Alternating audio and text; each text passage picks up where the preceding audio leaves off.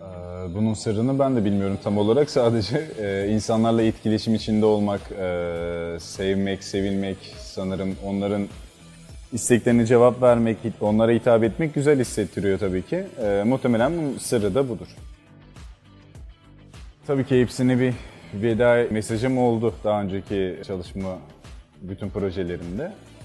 Yöntem olarak değil ama tamamen içten gelen bir şey sanırım bu. Sizde olan bir şeyi göndermek gibi, bir parçaya veda etmek gibi. Ee, bunun için farklı farklı yöntemlerim oluyor tabii.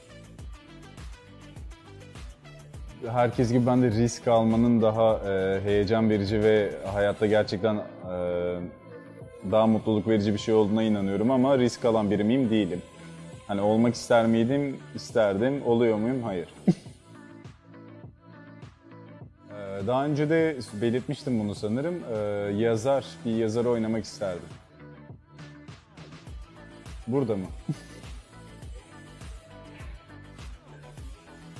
Şöyle mi?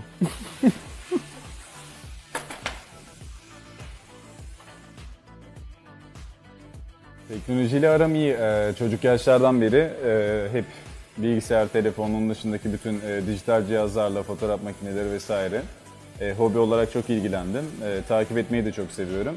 Ama teknolojiyle e, hayatımı kirletmeyi sevmiyorum. Kesinlikle dünyanın sevgi temelli kurulduğunu düşünüyorum. E, sevgisiz yapılan işin iyi olmadığı kadar sevmeyince de e, başarılı olmayacağını ya da mutlu olamayacağını düşünüyorum. Ee, Günde sanırım ben 10 yaşlarından beri spor yapıyorum ve her dalıyla ilgilendim. Ee, Şu anda yoğunluğumdan dolayı sanırım günlük en az bir saatlik bir spor e, alanım oluyor.